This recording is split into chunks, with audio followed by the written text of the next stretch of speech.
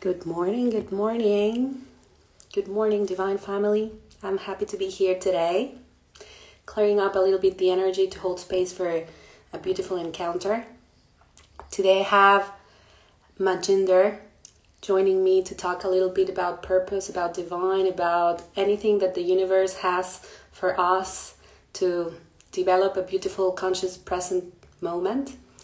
And that being said, I would love to invite him to join and start this amazing encounter.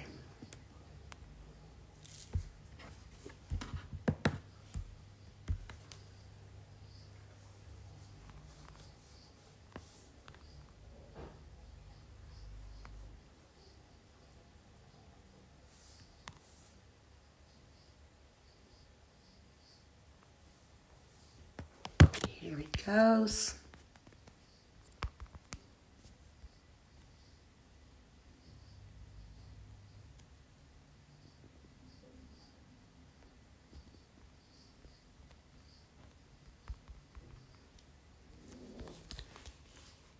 I cannot find him, but if my gender can ask to join, it will be great.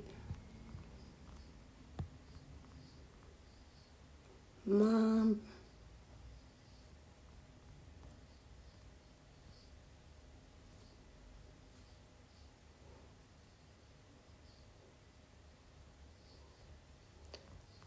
Yes, but it's not appearing here.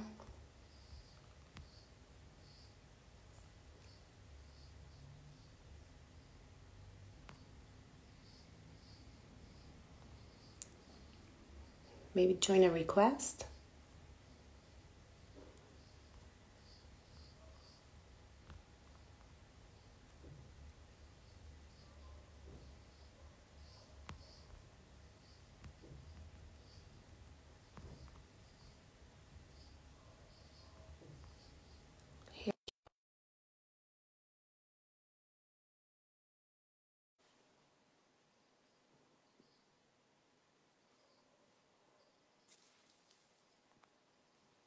Hopefully it comes quickly. Here it goes. Welcome, welcome. Okay, I've muted my uh, computer because we're also on the computer and we're on the phone, so I'm slightly confused what's going on. But here we are. That's the most important. Here we are. Welcome, welcome to this beautiful space. For me, it's an honor that you have accepted this invitation. Uh, when I stumbled upon your page, I really resonated with your message. I really resonated with your energy. And the first, uh, the first thing I thought, I really would like to connect and talk with this human being about his purpose, about who he is, where the authenticity of his heart comes from, and welcome. Thank you very much, Steph, for having me. Um, more than happy to answer any questions you have or any of the people following have to, to yeah, get it started. Let's go. So let's talk a little bit about where where do you come from? Uh, how, where where are your family origins? Uh, where where did your journey in this lifetime started? I'm like, where? How far back do you want to go? Do you want to go back to where the soul was created, or do you want to go back to Earth only? Oh well, oh well, uh, both interesting. Wherever you want to start, uh, let's dive in. Yeah, okay. So I've always felt like I see my past lives, um, and I've always felt like I came from the Orion star system, and I thought I was maybe an Arcturian, um, you know, the blue aliens with the long heads, the very spiritually advanced ones. Um, and then last year I did a, a Akashic record um, sort of uh, session with someone where they see where your soul was created, because I wanted to see where my me and my twin flame come from. And it was confirmed we come from the Orion star system, but that we come from a planet called Mintaka, which is a mer people, mermaid, merman um, sort of planet, and it was destroyed. And that kind of explains like my twin flame it loves water, and I'm scared of water. So usually Mintakans have that either fear or love of water and longing for that home. And we are generally just very like optimistic, positive, always see the bright side of life, even when the light of the world is collapsing and generally just um just like um peaceful loving connecting with animals and nature sort of people Yes. And then otherwise, I'm born in the UK in this lifetime, but I've had other lifetimes in on Earth. So I had lifetimes in Lemuria, which is where Hawaii uh, and the Pacific Islands are, and then also in ancient Egypt, uh, like most of us probably Atlantis. But this lifetime, I'm born in England, UK, of immigrant parents from India. So my my dad came to England when he was 13. My mom was 16 because my uh, granddad used to work as a police uh, man for the British in Singapore. So we got passports to come to the UK. Yes, there you go. Amazing, amazing how things just align and then we end up where we belong in this lifetime to evolve.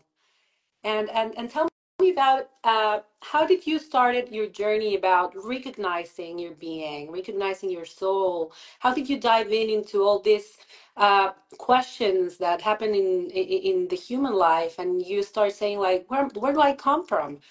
Yes, it's interesting. So I um last week not this week actually on tuesday um i've been seeing a shaman regularly and I, you wanted to talk about ancestral stuff and also shamanism and plant medicine.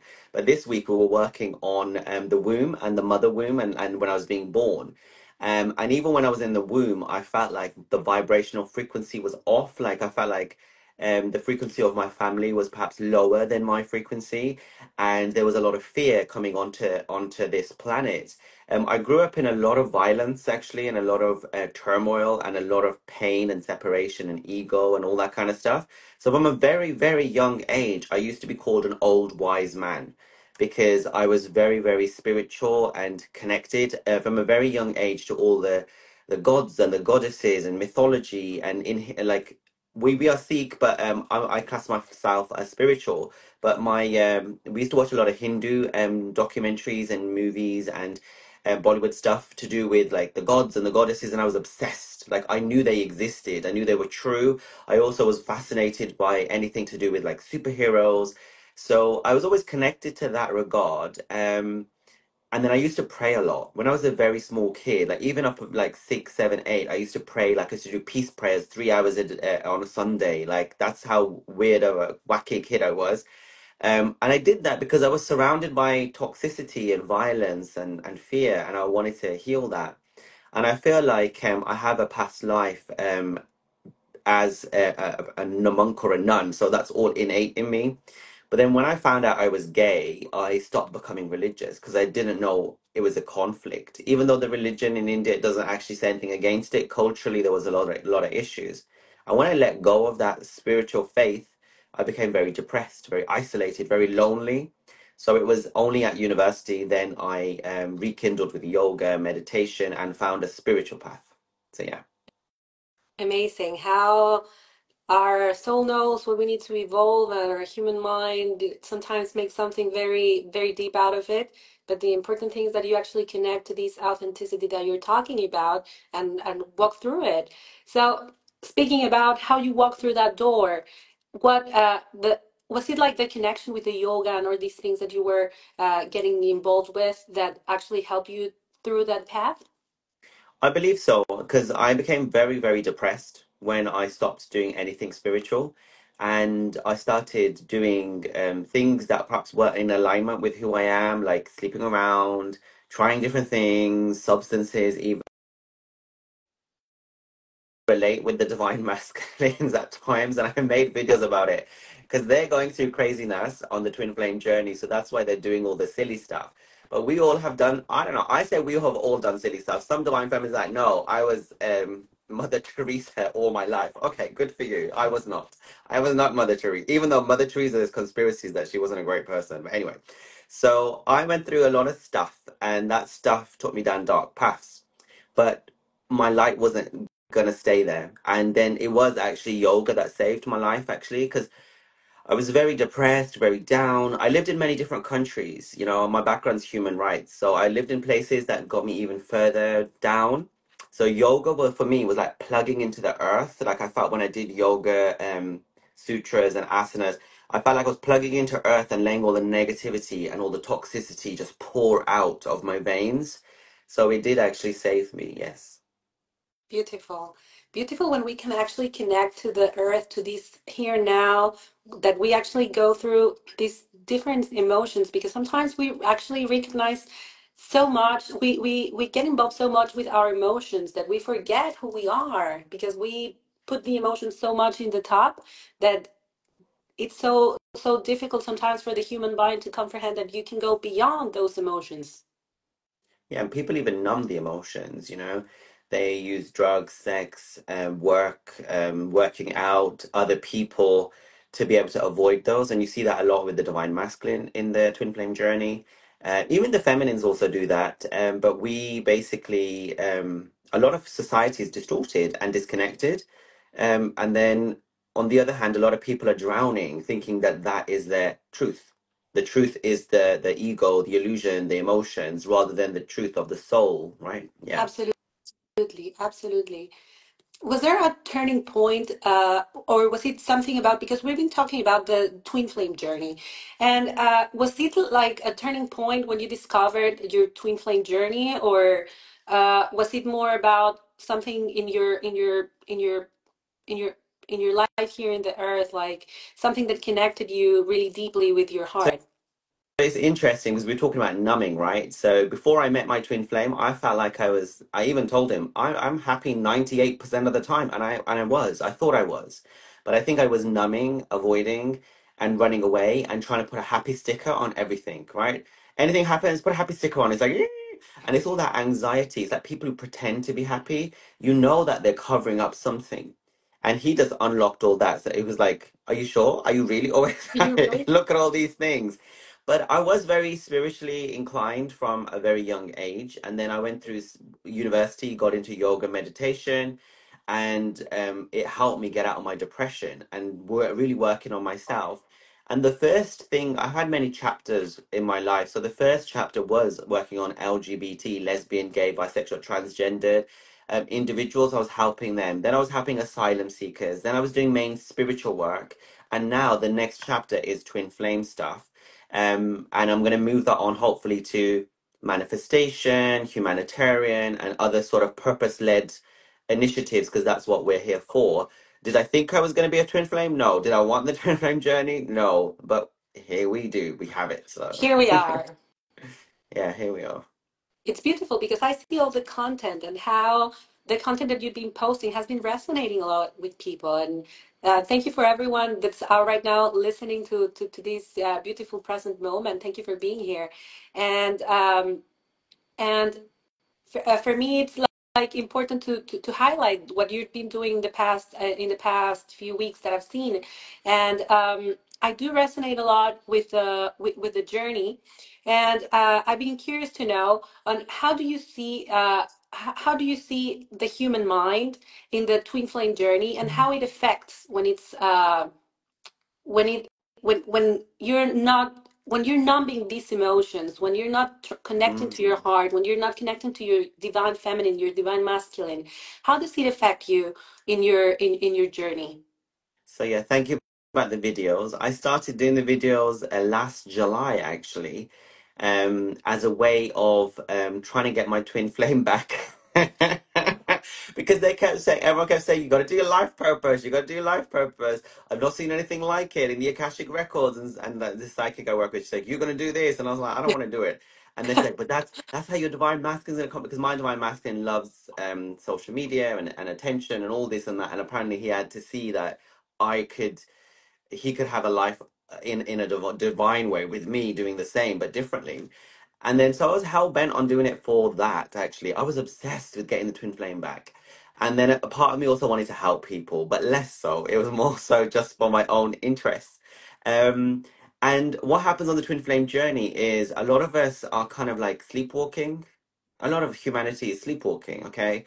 And the twin flame's purpose is to to just shatter that and to wake you up to all the shadows, all the traumas, all the karmic past ancestral debris that kind of like covers up your soul and prevents you from shining truly. So uh, when you encounter your twin flame, it is um, a cataclysmic um, experience and you're never going to be the same again. And you don't realize that at the time, but you're never going to be the same again. And you are ascending on speed. Like it's so fast. Like the ego deaths are going break, break, break, more than anything you could imagine. And it takes you to ascension. absolutely Yeah. Absolutely. In, in, in, in this moment, after meeting your twin flame, how do you believe that your that your soul has ascended? In which ways can you re see reflected in your in your humanity? Good question. So, what happens on the twin flame journey is initially you bump into this person. I do not believe in manifesting your twin flame or going to these uh, companies that charge you thousands of dollars to get your twin flame or whatever. Money making scams and schemes are out there. There's a lot. Um, you you you stumble across your twin flame by divine chance because you're meant to at the right time. Okay. And I believe everyone has a twin flame, but I don't believe everyone meets or is incarnated at the same time because they're not ready for it. They're not all, they're not mature enough to be able to deal with it. They'll they'll they'll self-destruct. It's it's horrific.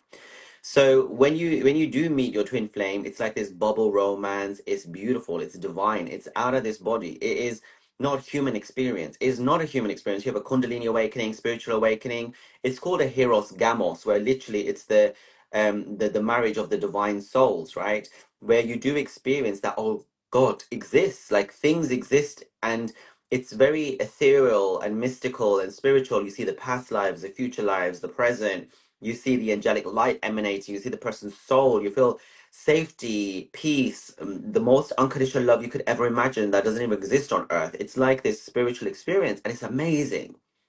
And then you kind of attach it to this individual and this individual gets triggered because all of their trauma starts coming straight away especially with the divine masculine what tends to happen is the divine masculine um basically as soon as you you have their interaction their pain body gets activated so all the trauma and the triggers that they haven't dealt with come to the surface like a torrent like a volcano like a tsunami they're like a tsunami. We don't understand because we call them assholes.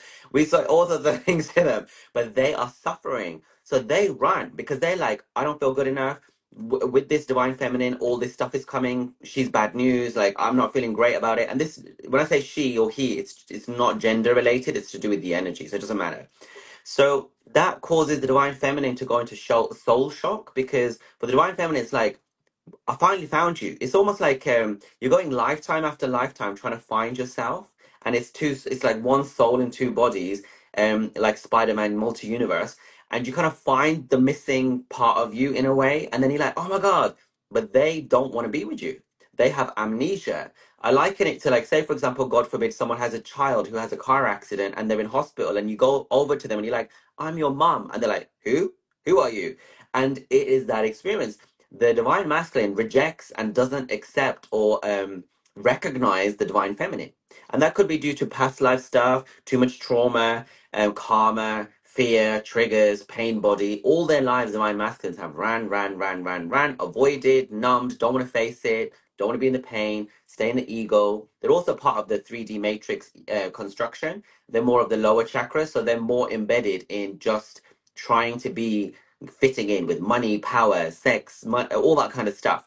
So you come in and kind of shatter that. Um, so for them, they're like, I want to bolt. Like, I don't want to deal with any of this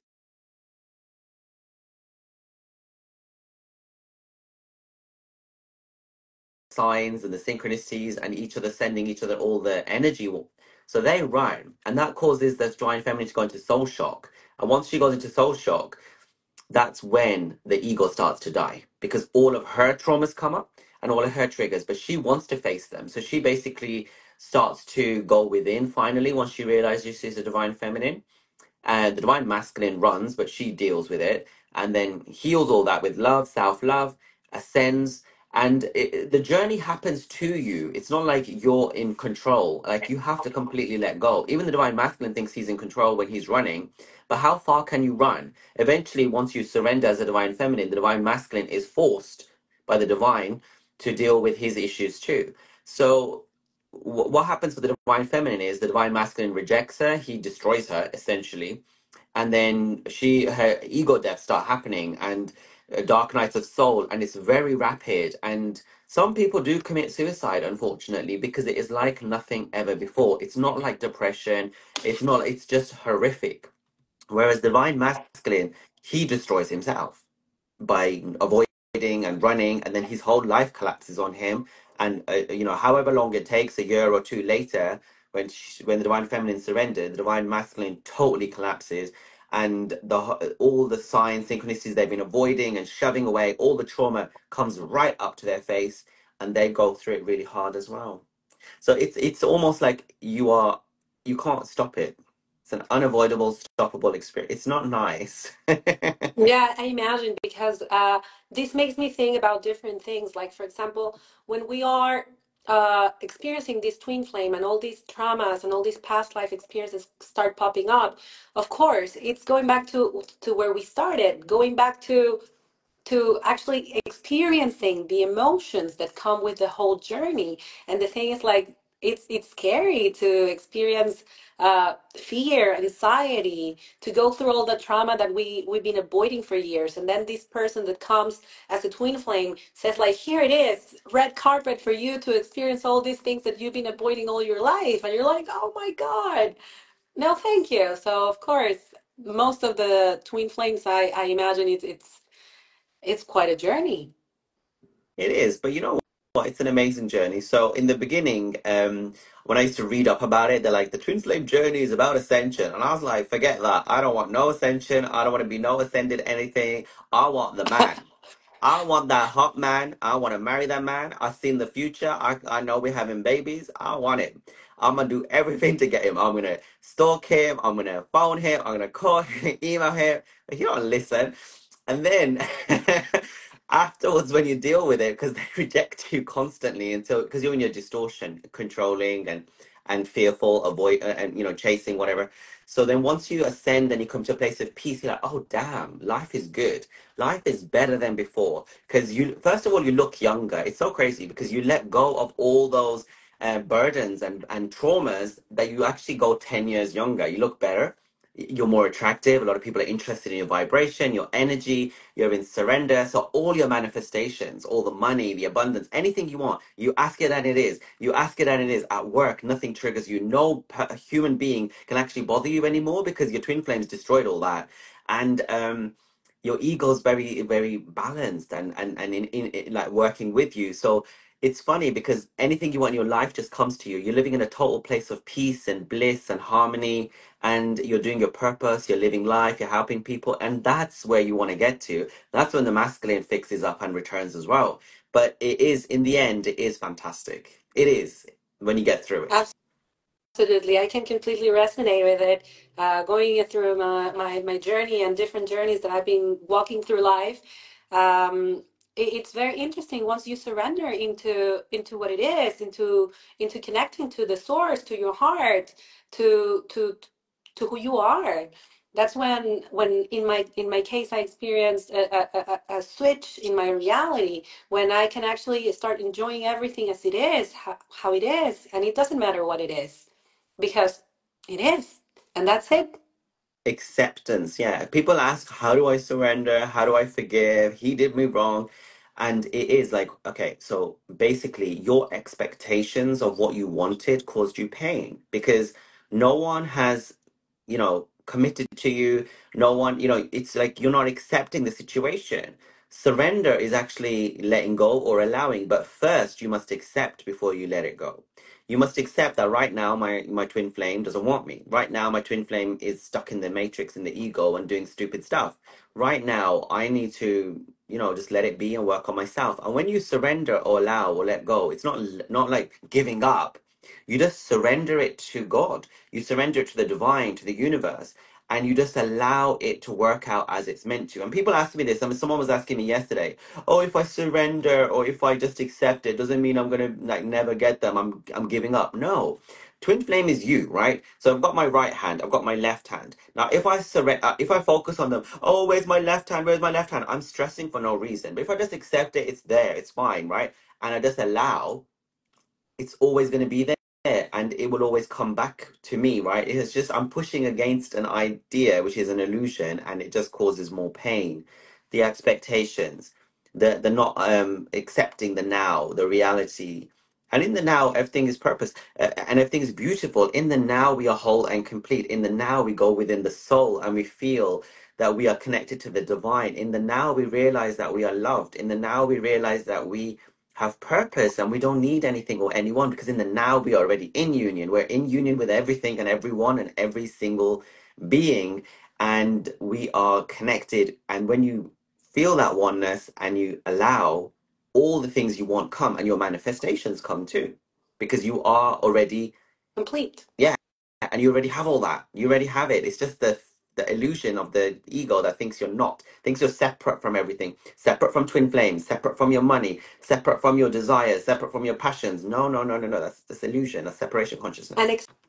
Exactly it's uh, what we're talking about because sometimes we think that we went through the whole path and oh my twin my twin flame showed me this this that and then there's a very delicate veil between the heart and the ego and sometimes it's very hard to dif- to to see the difference between both of them because you're so sure that it's your heart that it's your heart but surprise your ego came back. So it's uh, it's it's very important to be very aware of, of where you're standing of how the present moment actually unfolds in such a natural and organic way and and and, and accept and surrender to it because we sometimes as humans forget uh, we go back to our minds into the past of what if what if uh, only if i did that only if i surrendered before.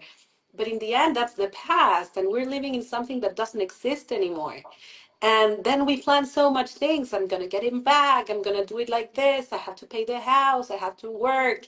I'm surrendering. And we put so many things in our mind for our future that we forget that all we have is right here, right now. And and once you actually get a hold of this consciousness of being here and now, the divine just unfolds. Yeah, and I was, I was, I wrote a few notes down. So it is a dance or an interplay between the ego and the mind, you know, the ego, the mind, and the soul, um, the heart. There is a dance and an interplay, and you always have to keep it in check. And when you're going in the future or the past, or you're holding on to the emotions, you're in that ego space. But in the present, like you say, everything is. And with twin flame, very interesting because with the divine masculine, if you bring up the past, if you say you did this, you were with her, and you you you left me alone, they run. Okay, and if you focus on the future, I want you to marry me now, and what about kids? They run.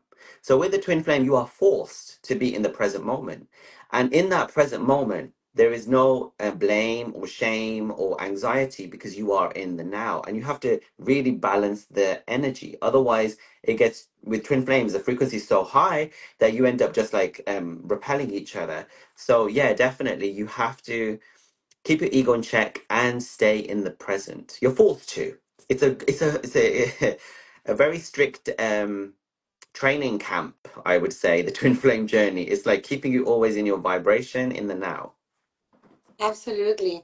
And And uh, like speaking about the ego, I mean, the ego is very important. I mean, let's not let's not take for granted that the ego is something very important for the for the human interactions because of course the ego can take you to different situations that can that can take you out from your from from your evolution in, into into your heart but at the same time your ego can be your friend as well because once you become your ego's friend you can get out of situations because you can because you want because i want to go into into into the deeper divine you know? So it, it's very important to be aware as well of of of that ego part that it's you not necessarily a bad thing i- if it becomes like your friend and you use it organically consciously i mean.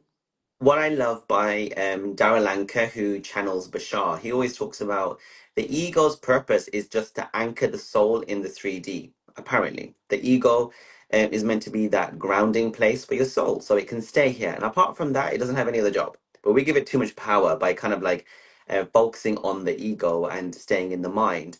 But yeah, the ego does give you personality, of course, and it does serve a purpose. But we give it too much purpose, and we get we allow it to go wild and that's why it cannot manage or control because then it's like um, it's taking decisions or actions that are not meant for its uh, mechanism, right? That's the higher mind, the higher self. The higher self is the intu- intuition that's allowing you to take steps forwards. But when we're staying in the ego, we're kind of um, giving the ego some responsibility they cannot cannot do. It's like giving a a toddler, um, you know, a, a, surgeon's knife and asking them to perform a surgery on someone. It cannot do it because it's not the toddler is meant to just learn how to walk and talk, and it, it's just that's its purpose. So we give the ego a greater purpose than it deserves, and that's what causes all the havoc in the world. Absolutely. It's very important to keep it in check, to make it your friend, and not go above above and beyond, giving it much more power than than it deserves. Put it put it where it belongs, and always connect to the divine, to your heart, and um, and of course, I would like to ask you another question. I mean, in in in this twin flame journey, um, you said that you let go, but did you let go, or did it come back, or how how is your your twin flame journey right now? I I I'm curious, and Oh I think dear. that it might it might be a very interesting question for for the people here listening a little bit. I have to be very careful when I talk about my twin flame because it gets very triggered. And it is also sensitive. Um, you have to respect your twin flame, and uh, only when they're ready. There'll be there'll come a time when he will be with me in videos. He does a lot of social media, so we'll be doing a lot of stuff. We'll be power coupling the world, traveling and doing stuff, and then uh, we will have our babies and do stuff with that too. But um, for now, um, all I can say, I'll keep it general. I've had a very uh, tough, horrific twin flame journey. I don't tend to mention it much because I don't think there's any point in it. Um, the harder the journey, sometimes often it's like the harder the purpose, the bigger the purpose you have, or the more karma you got to heal. Um, let's just say um, I, I sometimes recommend, not always, but if it's, you know, I use, I work with a psychic, um, Twin Flame in Union, and uh, she said to me once that, Manny, in all my 35 years of doing readings, I've never cried for someone before. And she cried, she's cried in my readings many times. So um, my Twin Flame journey is um, basically now at that stage where the divine feminine comes into union with herself, surrenders, allows. So I'd be the divine feminine energy, which is just like um, protons and electrons. It's just energy. And then the divine masculine is now healing, and going through their own stuff, realizing, oh shit, I was a total whatever, and I did this. But also, also that whole victim mode, poor me, my life, I was treated bad. Uh, and the realization I'm a product of my behavior. I'm a product of my thoughts and my manifestations, and I need to fix up. I need to come back correct. I need to heal. I have um, dismissed this person. I have ridiculed this person. I have rejected this person, denied this person, ran away from this person, did a lot of stupid stuff against this person. And I realized I was the fool. And now I must come correct. So that's where I'm at on the journey. Beautiful. Beautiful. Conscious, it, it, for me, it's beautiful. Well, when consciousness comes in, then the journey starts going in a in, in, in a beautiful path because now you're aware of things that you were not before. Now you can actually say like, okay, I have a choice of not doing things the way I was doing them, and actually go into that healing healing journey as well. Not only the twin flame journey, but the healing journey that uh, will bring you to what we were talking about, which is uh, the ascension of your soul. It is. And then, you know, some people say, How do I forgive that? How do I do this? How to do that? They, they did me so wrong. And I was I was very angry and I was also very uh, I'm a Scorpio, okay? So I was like, I'm gonna take revenge. How can this happen to me? And it was the ego, right? But then you get to a place because they are you. You understand everything. You understand all their silliness and their rebellion. Because it's like I'm rebellious too.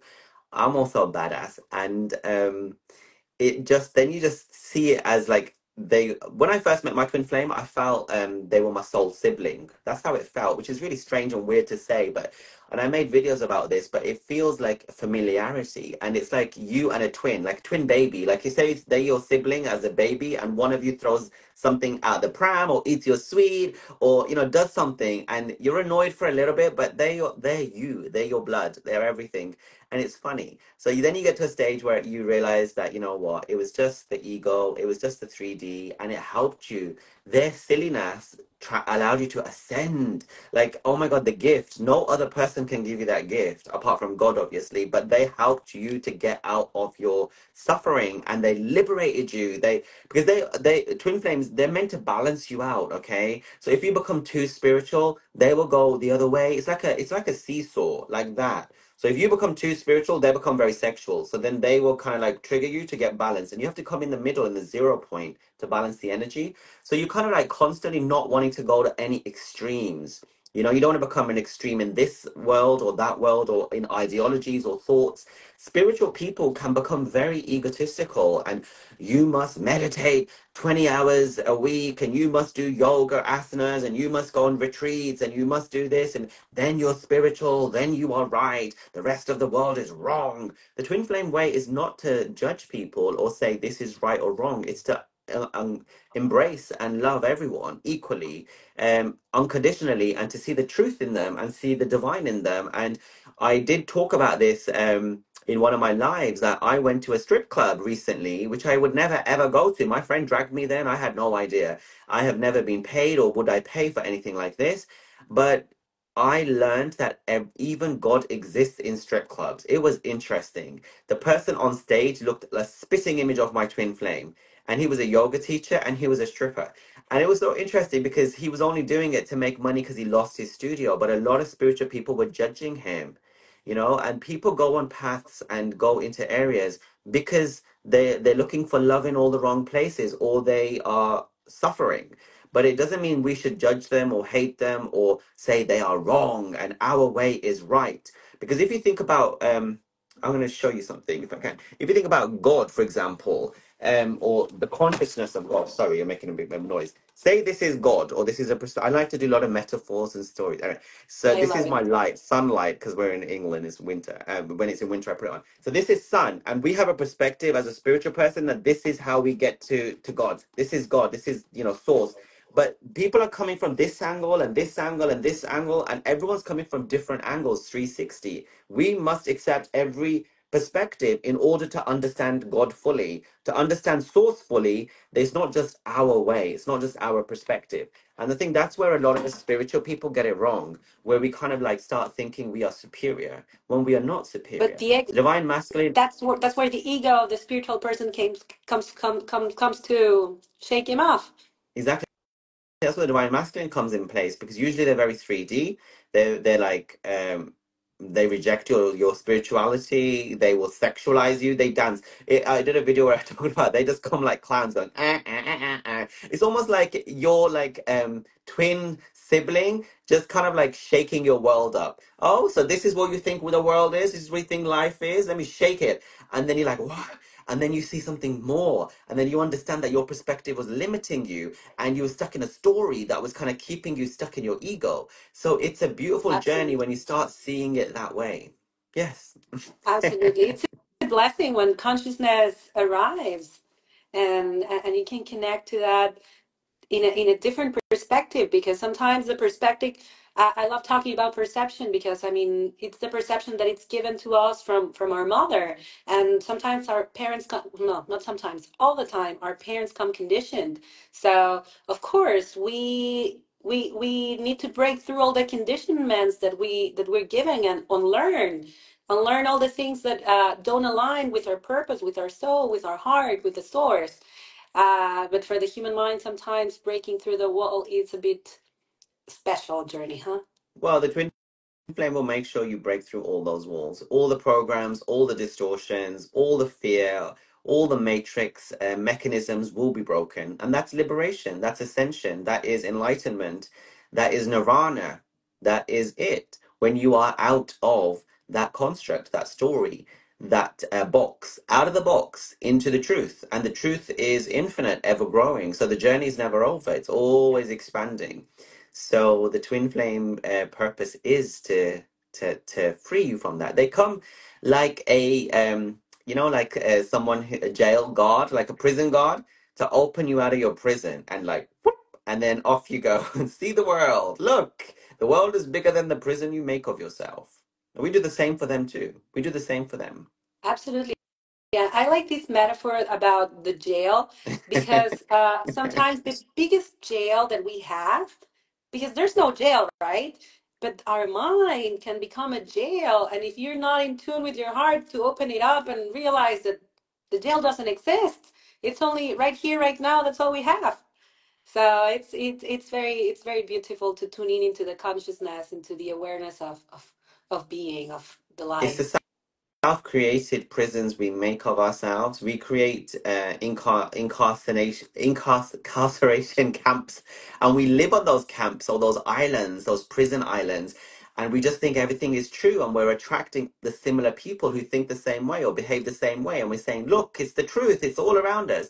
But that's because we're stuck in that mentality. And if we got out of that mentality and saw other islands, we will see that the opportunities are always there you can just jump or, or, or go on a plane and go on another island and have some fun. Stop being on your judgmental eh, ass and just have some fun. And the divine masculines also, they go through so many things of unworthiness, um, self abandonment, rejection, and all these things. Again, prisons, prisons within their islands of how they are restricting themselves when we are divine souls, we are infinite beings we are unconditional love. We have supreme power given by given to us by the divine to be able to do whatever we want.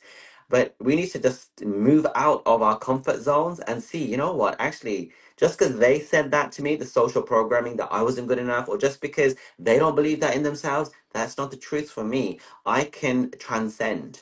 That's what ascension is. It's transcending those limitations to be free. Absolutely. And uh, there's a very interesting question that um, that Scorpy17 posted here, and he asked, "Do you guys feel feel the merging and the oneness?"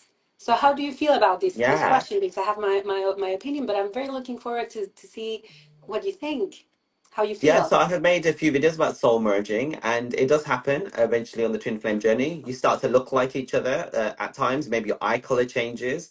Uh, I certainly have started that my twin flame has very chiseled jawline. My jawline started to change, but also internally, your personality, your traits, because you're going back to your um, divine blueprint. Okay, so you are one soul blueprint with the same core values and the same core purpose. And my uh, part four in my series of twin flames that is launched today is about purpose but yes eventually you start having that soul merge and you start and that's when the forgiveness comes and the uh, understanding of your twin flame why they behaved their pathological psychological ways of behaving when you start understanding it at a soul level.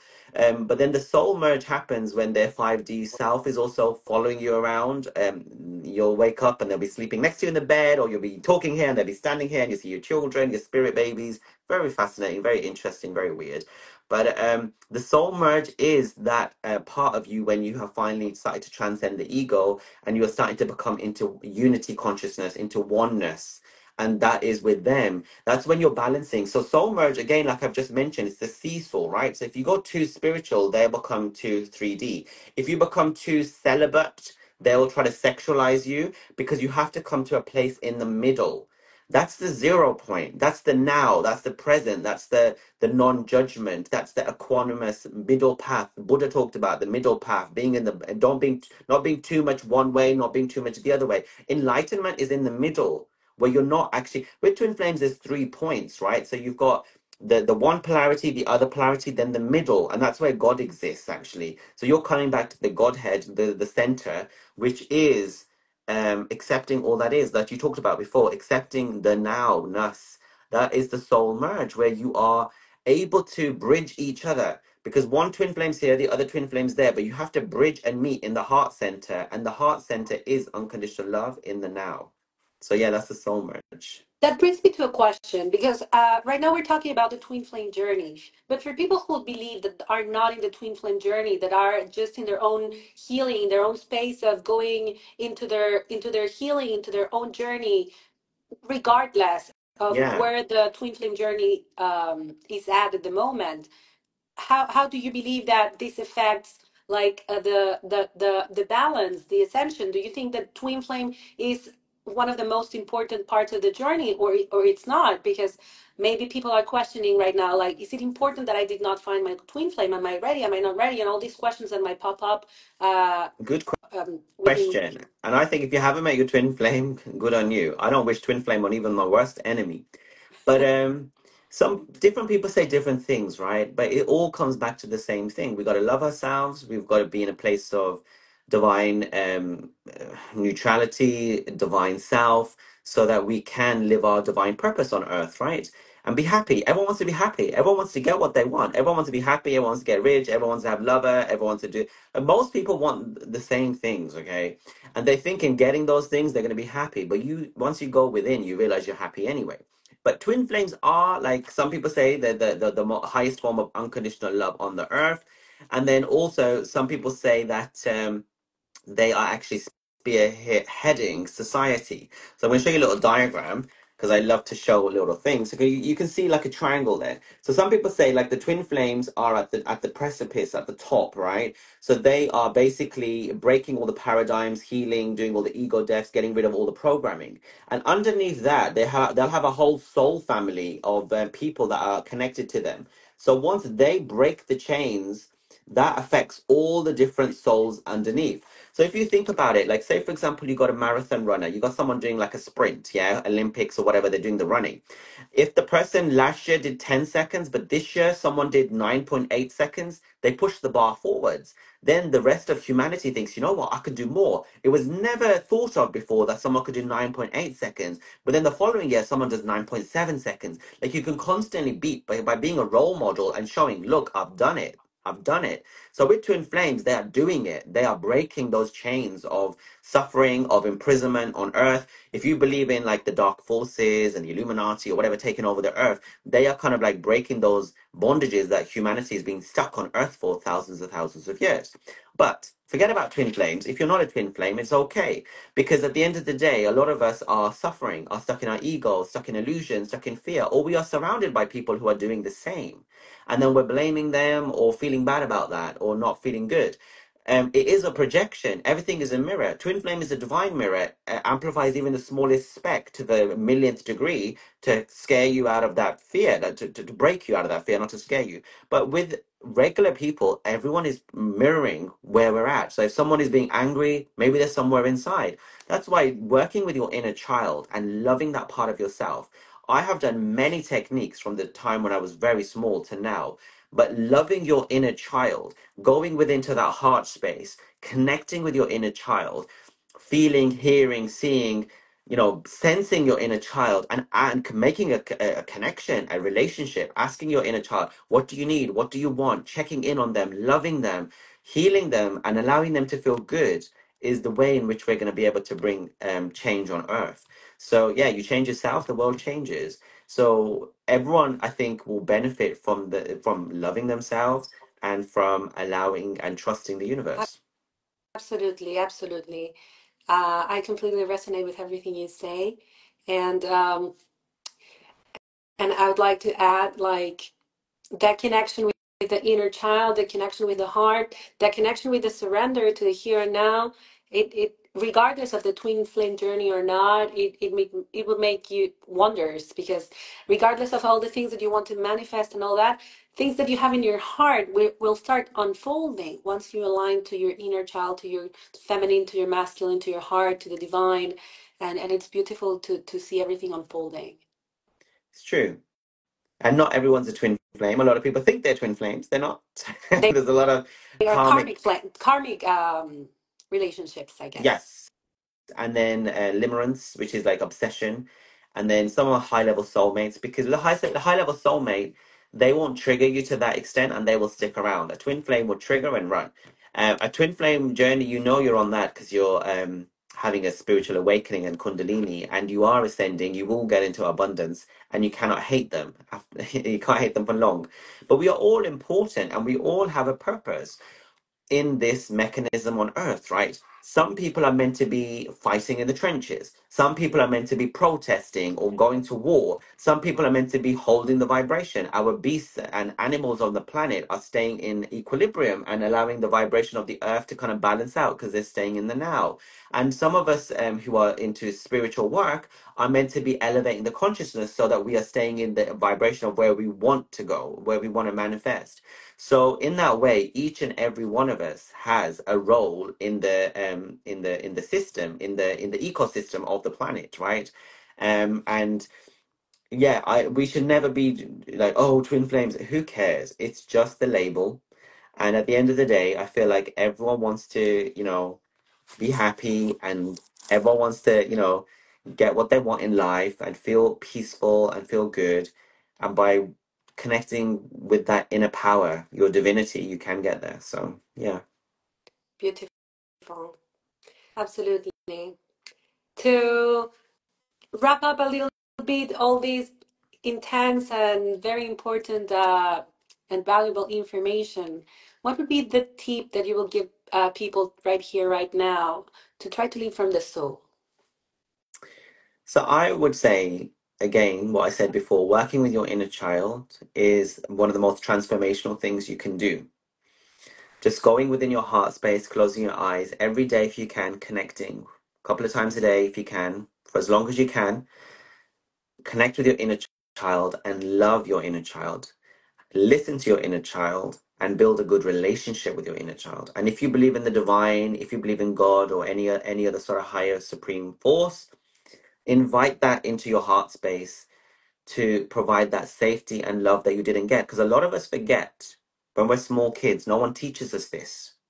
If you need anything, God is within you, right? God is your mother, God is your father, God is your lover, God is your sister, God is your brother, God is your teacher, God is your boss, God is your client. God works through everyone. The, the image of God, the divinity, seeing through the eyes of source, seeing everyone through that image, is that the truth? Yes. So you can invite that divinity within yourself to provide that love and protection and safety you didn't receive that you didn't receive from your parents because they were distorted you didn't receive from your lover because they were traumatized you didn't receive from blah blah blah because you were looking outside for love in all the wrong places forgetting that love exists within We have everything we need, and it's right here, right now, inside of ourselves. We just have to plug in. indeed like i did with the yoga mats but yeah It, it's it's a very simple thing, you know, a yoga mat, but it could be anything. Sometimes people think that meditating takes a lot of knowledge, meditating takes a lot of time. I have to, I have to, and we connect to these feelings of I have to, I need to. I and in the end of meditation, it's as simple as just breathing in, out, here now. And it helps reboot the nervous system in, in a couple seconds because it's as simple as that. You can do it as many times as you you need, and You can dance, you can go for a run, you can laugh with your friends, absolutely you can watch a comedy show. There, there's so many ways in which to get into alignment. You know, getting into alignment is getting into your flow, what makes you feel good. You might have an amazing Michelin star meal and feel in alignment. And then you just stay in that. Have those appreciative thoughts as you're walking down the street. Appreciate your neighbors or the trees or your dog, your cat that's alignment. So you're essentially getting into alignment and staying there as often as you can. absolutely. And it's as simple as finding what makes your heart smile, Yes. remembering. Yes, exactly. What makes you feel joyful? And it's everything for every single human being. Sometimes we we see other people being in in their own alignment and we don't understand it, but it doesn't matter. Don't judge. Just see what makes you feel good. And absolutely, that's that that's the only way to go. Remember what makes your heart dance. We're all unique, and I love that point. We're all unique, and we're going to have different ways of appreciating and and uh, experiencing that alignment, right? And even with your partner or your friends and family, it's okay if they do it differently. Because if we were all the same, it would be boring. Not everyone dances the same rhythm of the heart. Yeah, that's it, all the same way. Yeah. Wonderful. Thank you so much. No, thank you for accepting this invitation. For me, it has been a wonderful moment being here in presence, in your presence, in divine presence of all these beautiful people that have been accompanying us. I want to thank you. I want to thank every single soul that has been uh, in, in, in this live moment, in this presence. Yeah, thank you everyone watching. Um, it's it's almost like the asking of the audience brings across the the manifestation of the the things we say. Like they just extract it out from our souls. So we're all part of this. We're all together. No, none of us are alone. Absolutely. Everything that uh, that has been said, maybe we didn't bring it up literally, but it, I, I I assure you that it touched things that brought a lot of a lot of energy out, divine energy, and I'm very grateful. I'm grateful for each one of you. I'm grateful for you accepting this invitation for myself, divine. I love you all. If nobody told you today, I love you. We love you. You are loved. And thank you. Have a great day.